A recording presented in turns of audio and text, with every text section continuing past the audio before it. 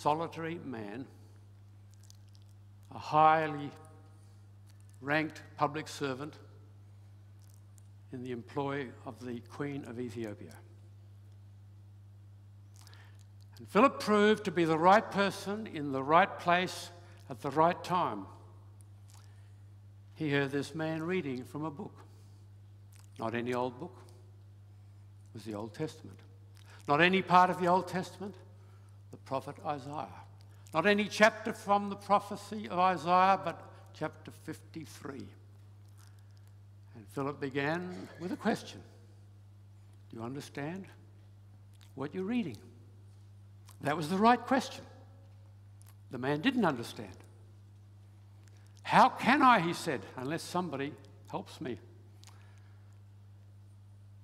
And the man said, Who's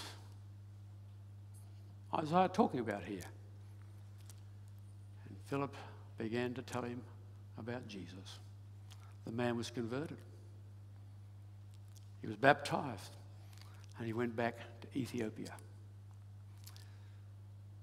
Now, Philip could have protested. It didn't seem like a good strategy to take a mass evangelist from a successful crusade in Samaria and send him to a desert road to talk to one man. It may have been the most strategic thing that ever happened in the ministry of Philip. How many of you can name the person who led Billy Graham to Christ? Probably fewer than a handful. How many of you can name the person who led C.H. Spurgeon to Christ? Yet each of those people went on to reap a huge harvest of souls. And who knows how Africa was impacted by the conversion of that one important official. God may say to some people in this room, Arise and go. And the place may be very unattractive. It could be to some remote Aboriginal community in this country. It could be to a Muslim country where they don't want you. Where there are flies, and mosquitoes, and all sorts of diseases. But God wants the gospel to go to the whole world. And He has the right, in His omnipotence and sovereignty, to put the people whom He regards as the right people in the right place at the right time. A book called I Believe in Evangelism, written by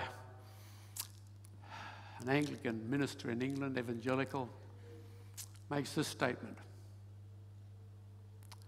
Opportunities come insofar as we really want them. I'm going to say that again.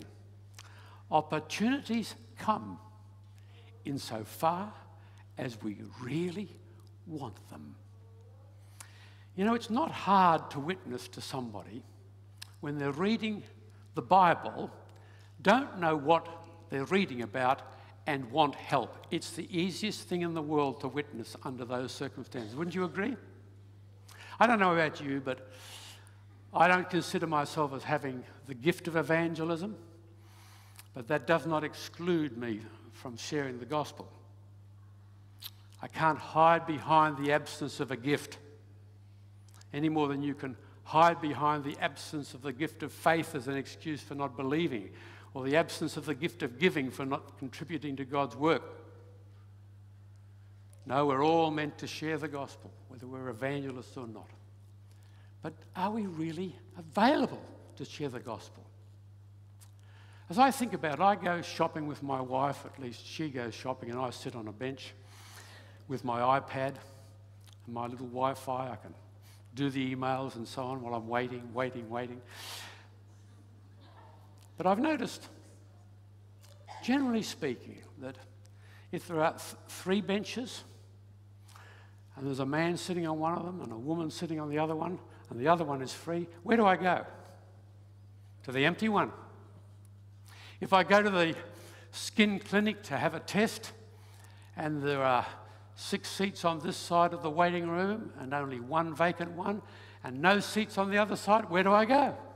Over to the vacant seats. I'm uh, beginning to think I've been doing the wrong thing. Am I really available? Bill Hybels has written a book called Just Walk Across the Room.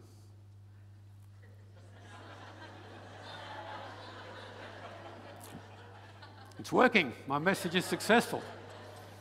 Hey, you're not supposed to come back. You're supposed to. Okay. It's that little guy again. Hello. Oh, got your attention? The book is called Just Walk Across the Room. Where did he get that title from?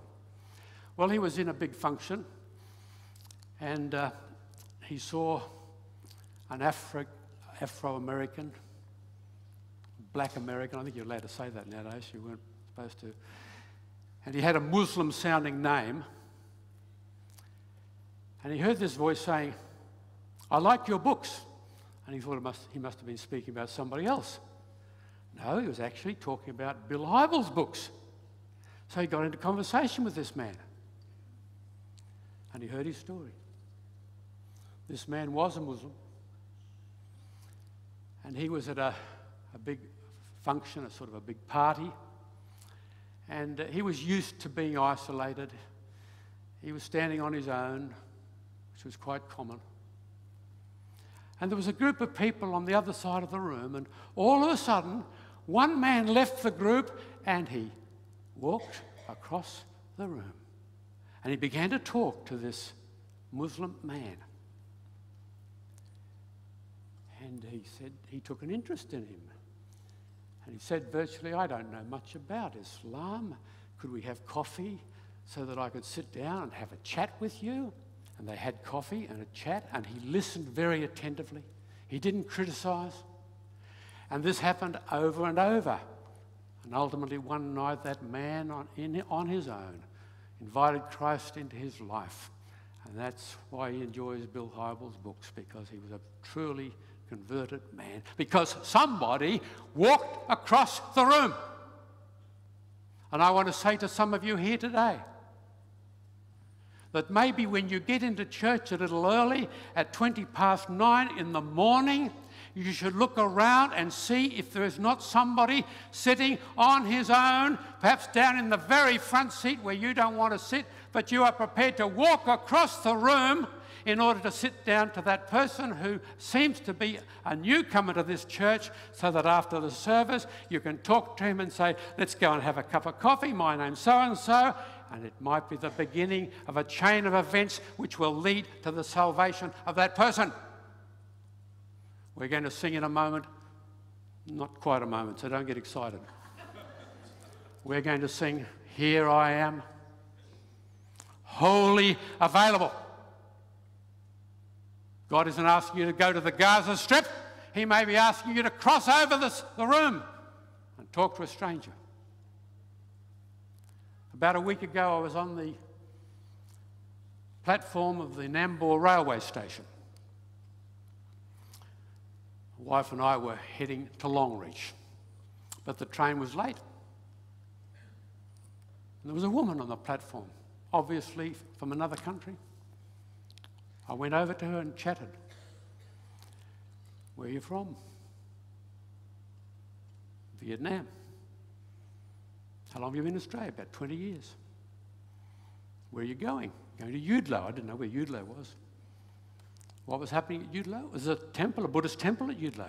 She was going to the Buddhist temple at Eudlo. What do you do? Do you back off? Do you start ranting and raving against Buddhism? She was from a Catholic family. Obviously, she'd made a change. She seems to be a seeker after truth. She hasn't found it yet. But you can tell her about truth that can be found through reading a book like the Gospel of John, which has a promise that these are written that you might have eternal life.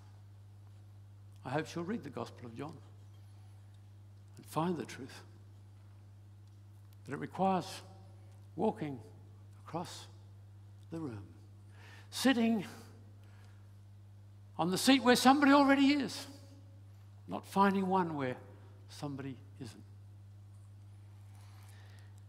Well, that was Philip. He went, and it wasn't a, go- a wild goose chase. It was the easiest thing in the world to share about Jesus to a man whom God had set up for this engagement. Then we read about another man to whom God said, Arise and go. His name was Ananias. He used to go to a certain address, Straight Street, Damascus. And he's to talk to a man called Saul of Tarsus, and that name rings a bell. He's heard about him. He's the guy who put Stephen to death. He's the bloke who's come from Jerusalem with orders to apprehend Christians. And Ananias is a Christian. He's a disciple, it says. We never hear of him again. That he was to become the right person in the right place at the right time. He goes and he finds this blinded Saul of Tarsus, no longer ranting and raving against the Christians, humbled and having been led as a little child to this address. And he's seen in a vision a man called Ananias coming, and the two people meet. And Saul of Tarsus becomes the great Paul the Apostle who planted so many ch- uh, churches in the Bible lands and gave us so many books in the New Testament. Ananias said to him, Arise and be baptized, washing away your sins and calling upon the name of the Lord. And I think that's the moment when Saul of Tarsus got converted, not on the Damascus Road. God got his attention then. He was converted in that encounter with Ananias. And I love the, the way his baptism and his conversion experience occurred as a single event. It's almost as if, as he went under the water, he did his repenting, and as he came out of the water, he called on upon the name of the Lord by whom we shall be saved. And he went on to do great exploits for, for God. Not a wild goose chase, just a man who was willing to cross the street to go where God wanted him to be at the right time. Not an easy task for Ananias. It'd be like telling a Jewish rabbi to go and convert Adolf Hitler to Judaism. It'd be bad like that. But God does that. Elisabeth Elliot lost her husband to wild Auca Indians in South America. And God said to her, Rise and go and preach the gospel to the people who murdered your husband. And she went. God did a wonderful work amongst them. The third person we read about was Peter.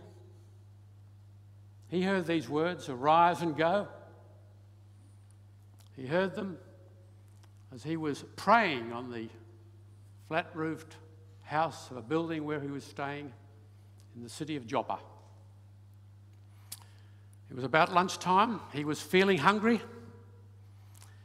Lunch was being prepared down below. He had a few minutes before the dinner bell rang, so he spent them in prayer. A very different Peter from the one whose dearest friend had asked him to pray in an hour of tremendous stress. And all Peter could do was go to sleep. Now he's a man of prayer, and as he's praying, he sees this vision a sheet lowered from heaven with all sorts of animals, which as a Jew he could never eat. And he hears the words, kill and eat. and being a good Jew, he protested, Not so, Lord, I've never eaten anything unclean.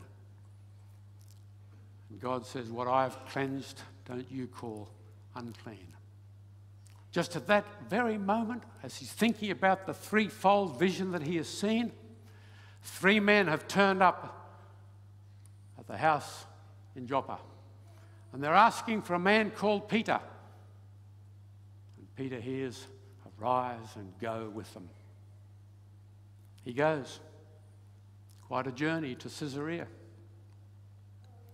And he finds there a Roman centurion whose family and household are all gathered in expectancy of the arrival of Peter. And Peter shares the gospel with them. And not an individual like the Ethiopian eunuch or Saul of Tarsus, but a whole house full of people were converted to Christ even before he got to the end of his message. The Holy Spirit came upon them, and the visit of Peter was shown to be so worthwhile. Each of them went. It wasn't easy for Peter. He was a true blue Jew. And to mix with Gentiles was unheard of. But he crossed that barrier. I think we need to take a leaf out of Peter's willingness to go. There's an election coming up. One of the big issues is all about the boat people. And I've got some strong feelings about the boat people, believe you me. But are they Christian feelings? There's a couple on Christmas Island who are having tremendous opportunities to cross the room and share the gospel in the languages of all these people who are arriving. And maybe, just maybe, whether we like it or not, because we are not going to the countries where these people are coming from, God, by hook or by crook, is bringing them to this country for us to love and to embrace, to talk, to have coffee with, to ask about their religion, about their culture, and share the gospel with them. Because many of them would never hear it in their own countries, as you and I know. Now, don't get political. Don't have a go at me. I know the pros and cons and all of the devious things that may be going on. What has that got to do with it? Omnipotence has servants everywhere. Are we willing to be his servants? We see a woman with a burqa in a shopping centre. And it's as if it's a no go zone. There may be no more lonely person in the whole of that shopping centre than that woman living in that cocoon. But we don't dare to talk to her. Well, I don't dare anyway, but you ladies could talk to her. Be polite, take an interest, listen, be friendly. Who knows?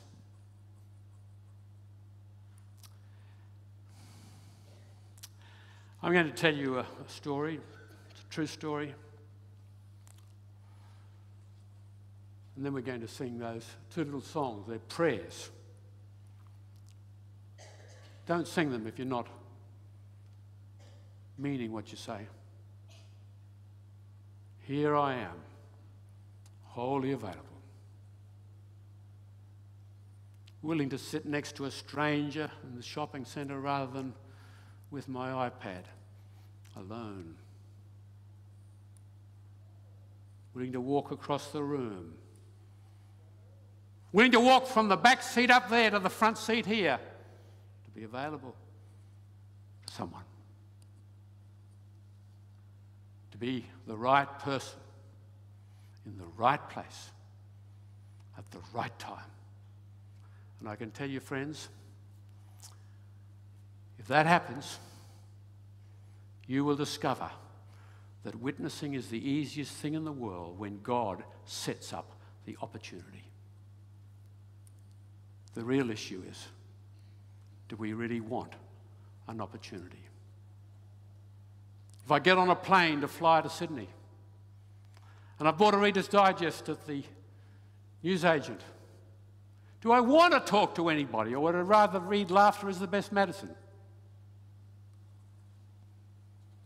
God can set it up. I was flying from Perth to Brisbane once, and the man sitting next to me was reading a book. It wasn't Isaiah, but it was a book about people who claim to have had death experiences and come back from the death to life. Now, can you see a possible way in which you could make a transition from that book to the gospel of Jesus Christ? Can you see that? You're nodding. Easy peasy, easy peasy. Here's the story, and then we're going to sing. And then we're going to have morning tea. You be willing to walk across the room. To leave your friends if need be. And go to somebody's on his or her own and listen and be friendly, welcoming. They might come back next week. And the following week, they might come back as a believer. Here's the story. A book written by S.D. Gordon called Quiet Talks on Power tells of a prominent clergyman in the United States, in the state of New England. And he was invited to conduct the funeral of a young woman who had passed away suddenly. He arrived at the venue, and the first person he met was the pastor of the church that the dead girl had attended. And he said, Was Mary a Christian girl? And a pained look came over the pastor's face as he said, Three weeks ago, I had a strong impression that I should speak to Mary, and I did not. And I do not know. A moment later, he met Mary's Sunday school teacher. And he asked the same question Was Mary a Christian girl? And she broke down in tears. She said, Two weeks ago, a voice seemed to say to me, Speak to Mary. I knew what it meant, but I did not, and I do not know. A moment later, he met Mary's mother, and he thought he might be able to bring a word of comfort to her. So he said, Mary was a Christian girl. She broke down in tears. She said, One week ago, a voice said to me, Speak to Mary. I intended to, but you know how quickly she passed away. And I do not know. God was saying to those three people what he said to Philip and to Ananias and to Peter. But there was no Philip there, no Ananias there,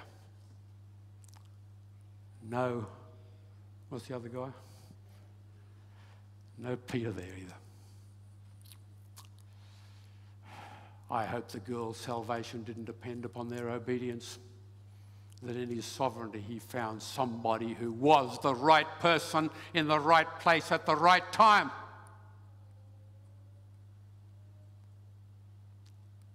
We're going to sing now. First song is a prayer. Lead me to some soul today. We have the words? Thank you. And teach me, Lord, just what to say. Oh, we need help there. You see, some, some of us, we come blustering in. Have you heard of the four spiritual laws? No. Uh, do, you, do you understand what you're reading? What's Islam all about? Where are you headed today? Just ask questions. Learn to ask questions, friends. Rebecca Manley Pippert wrote a book called Out of the Salt Shaker. And she maintains that 60% of evangelism is asking questions. Asking questions. Jesus was good at it, he was fantastic at it. Who do you think was the neighbor? What does it say in the scriptures? Whose head is on the coin here? Jews are good, really good at it. One man said, Why do you Jews always answer a question with a question? He said, Why not? We've got to learn to ask questions. That invite people to continue talking. Let's pray these two prayers from our heart. And who knows what even this next week might mean for the extension of God's kingdom as He, in His omnipotence, places the right person in the right place at just the right time. Who knows what could come of it?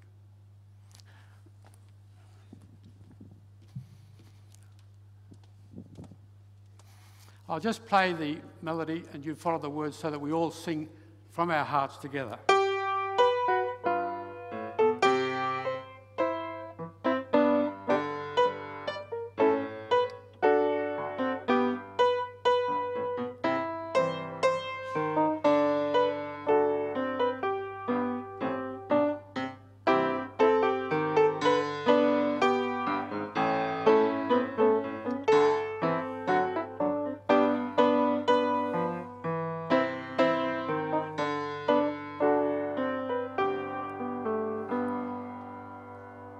We sung this, we're going to sing, Here I Am, wholly available. Are we? Opportunities come insofar as we really want them. We're going to stand and sing, so let's do that.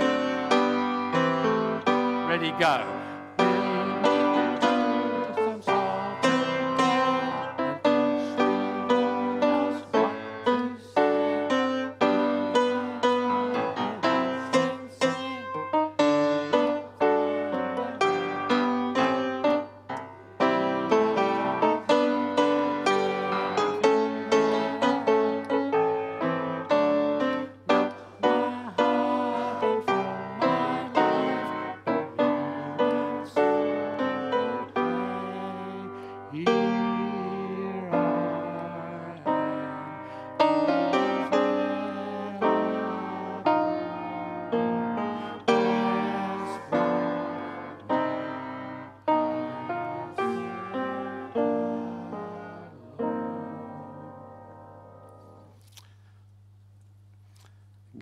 And be the right person in the right place at the right time.